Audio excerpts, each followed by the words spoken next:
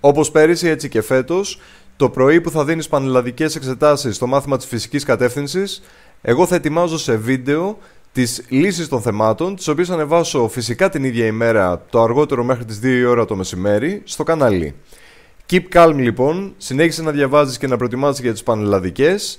Πρόθεσε αυτό το μήνυμα και σε φίλους σου, γιατί ενδεχομένως θα θέλουν και άλλοι να το δουν και δεν έχουν γνωρίσει μέχρι τώρα το κανάλι.